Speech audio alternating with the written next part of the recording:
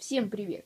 Сегодня я расскажу вам о книге из серии Marvel официальная коллекция комиксов «Человек-паук. Возвращение» от Джея Майкла Стражински и Джона Рамита-младшего. Э, книга была напечатана э, э, компанией Ашет Коллекция при участии Панини, которые переводили эту книгу. Обложка книги глянцевая, твердый переплет. На боку книги есть корешок, на котором есть часть картины. И, если вы соберете все 60 томов этой книги, этой коллекции, то вы э, сможете собрать целую картину. Сзади мы видим э, э, краткое содержание этой книги. И давайте же раскроем эту книгу. Вот на развороте мы видим такой вот арты и начало нашей книги. Сразу хочется сказать то, что э, Ашет недор... есть, в Ашет есть некоторые недоработки. Э, вот, например, здесь есть ниточка, которая вылезла из переплета.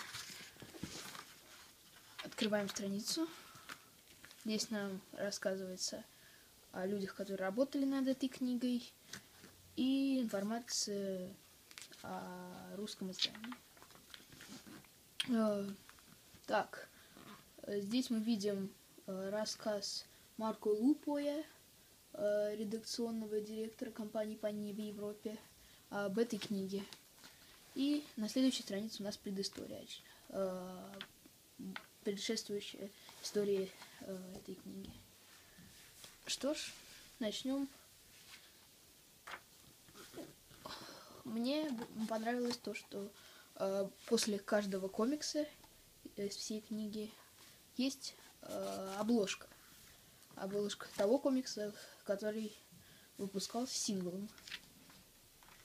Э, хочется заметить то, что есть некоторые недоработки в переводе. Например, здесь, вот в этой цитате написано «Привет, это Питер, я все еще обустраиваюсь на новом месте, э, так что если я не на работе, то либо добиваю пропитание, либо разбираю коробки». Немного кривой перевод, не правда ли, да? Так вот, дальше. Э, что хочется сказать о страницах, то они глянцевые. И на некоторых страницах можно заметить то, что э, видны пиксели. Но это не мешает прочтению. Например, здесь как раз их можно увидеть. Но я не думаю, что на камере это прям так видно. Э, вот наш комикс.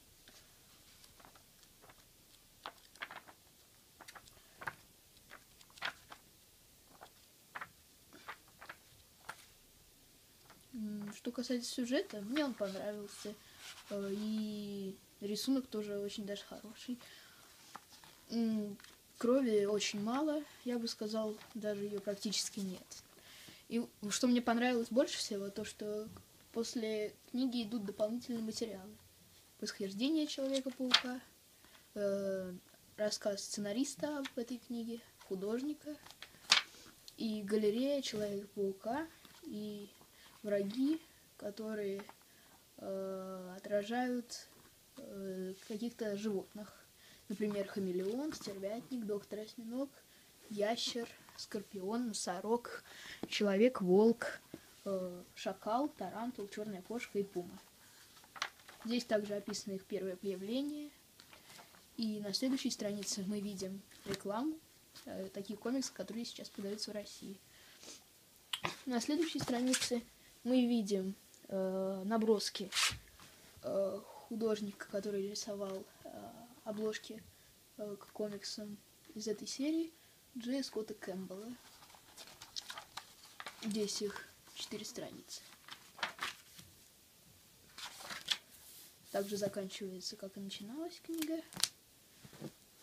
И хотелось бы еще рассказать о том, что в России уже издавалась эта книга от издательства «Комикс». размер. Такой же. Какой-то книги. Немного. Э, официальная коллекция комиксов больше. Но это, в принципе, не имеет значения.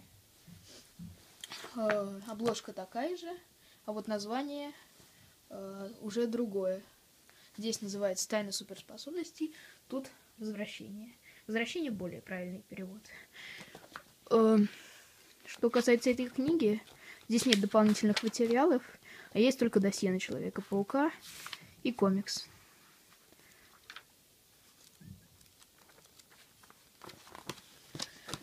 Скорее всего, я сделаю на этот комикс тоже обзор в отдельном видео. К первому выпуску а, к Человеку-пауку возвращению прилагался каталог-постер. Сейчас я вам его покажу. Вот он. Э, ну что ж, раскроем его. Тут мы на этой, этих двух страницах видим э, досье на некоторых героев Марвел. И здесь мы уже видим комиксы, которые будут издаваться, э, следующие три и этот э, в России. Так. Э, здесь у нас э, описание некоторых э, деталей комиксов. И вот постер. Постер очень красивый, и вы его можете повесить на стену или оставить лежать на полочке. Это уже ваше дело. Он очень большой и красочный, и я думаю, вам понравится. Всем спасибо за внимание. Э, с вами был Комикс, Панс, и это все. Пока.